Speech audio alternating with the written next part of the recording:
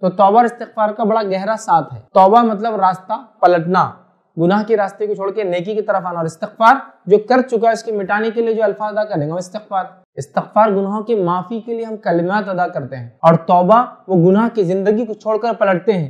تو ظاہر سی بات ہے، جو گناہ کی زندگی کو چھوڑ کر پلٹتا ہے، وہ استغفار بھی کرتا ہے۔ تاکہ جو ہو چکی ہے اس کی معافی ہو، یا پھر استغفار کر کے توبہ کرتا ہے مطلب ارے یہ کیا غلطی پتا چلا، اللہ سے معافی مانگی اور راستے کو ٹن لے لے توبہ لے لے